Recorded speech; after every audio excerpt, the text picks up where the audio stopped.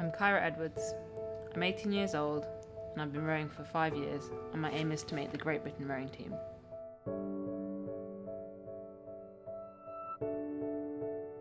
I'm from Nottingham, I've just finished college, and the next part of my journey is going to the University of California, Los Angeles, also known as UCLA, on a sports scholarship.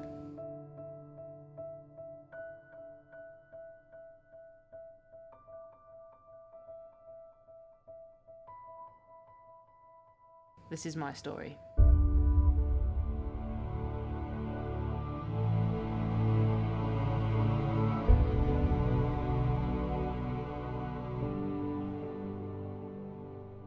Rowing is a very endurance-based sport.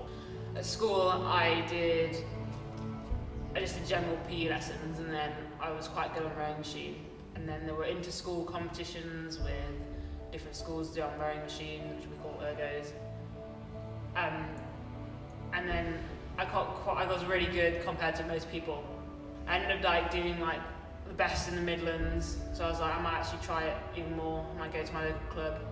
On a day-to-day basis, I wake up at 6.30, I have a session in the morning, I'm still at college, well, I've just finished college, but I've still been at college, so I'd be doing a run in the morning, maybe I'd be going to school early to do some training at an earlier in the morning, and then I'd be at college most of the day, and then I come I come back to Holme Pierrepont or the Nottingham Rowing Club where I do another session either on the water, another one on the rowing machine, in the weights room. Sometimes I'd be finished at maybe six, but on a three session day I'd be going till about 8.30, getting home near enough nine, eating, bed, back up at 6.30 the next morning when we we only get selected for GB rowing in the summer, and we don't actually get selected or we're never in a, a team until the senior team where you train all the time. The senior team. The Junior World Championships year, this year where I was selected, um, we went on a, a month's camp before we even actually were at the championships. So this was down in Reading. We had a big three-week camp in Reading which was all funded by National Lottery, UK Sport, and then we had another two weeks in Rio, which was also funded by UK Sport. Uh, my, my rowing club's been really helpful, so that's been a big help. Um, I've got sponsored by Fred Hallam's Boot Shop in Beeston, which has been really helpful. So my favourite competition so far has got to be the Junior World Championships in Rio, which is by far one of the best weekends ever. That was amazing. But as part of being part of a GB rowing scheme that I'm on at the moment, which is mainly to develop athletes to get into Olympiads and train accordingly. A lot of it is just training, and the main competitions are quite significant competitions like national regattas and, well, mainly GB rowing stuff. So things where I represent my country would be uh, a GB versus Spanish match when I was 16. Then I represented uh, GB in the Coupe de la Jeunesse, which is like the B team for the GB rowing team. And then this year, uh, I've been at Munich International Regatta as part of the GB rowing team and at the World Championships. There are a lot of people I look up to. I have a lot of respect for very successful people. Uh, I've only been with Kyra for the last year or so. Um, but from the beginning to where she is now, I think she's stepped on lots throughout the year. She's had plenty of ups and downs, but yeah, I think she's a good athlete to take things on board, listens, and then goes out and gives her all to improving it. So I think from, from the start to the finish where I am with her, um, she's she's done good. She's definitely stepped on craft and hard work. There's a lot needed to get to to the level that Kyra's achieved. Um, I mean, the program at the moment will have kind of this time of the season it'll be some long distance stuff, some low level, getting back into it.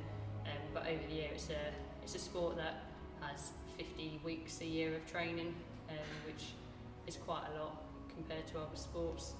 I wouldn't say anyone specifically, so I don't think I actually have an idol.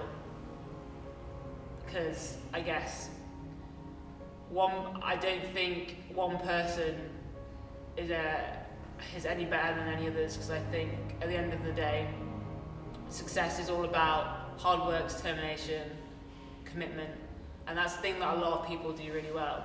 People say they make sacrifices for sport, and I guess there are a few, a few. To me, there are a few circumstances where something is a sacrifice, but at the end of the day, if you're choosing to chase after something like a medal, something like an Olympic medal, it's a lifestyle. It's not. It's no longer a sacrifice. It's just a way of life. And when you get there, it's it's all worth it. So I've made. I guess the things like going out with my friends, going out, uh, stuff like that.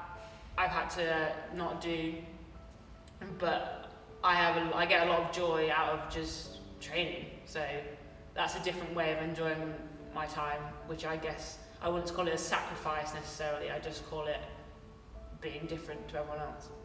Uh, my immediate goals are just to keep developing as an athlete, keep getting better every day, um, and then I think it's important to have short-term and long-term goals.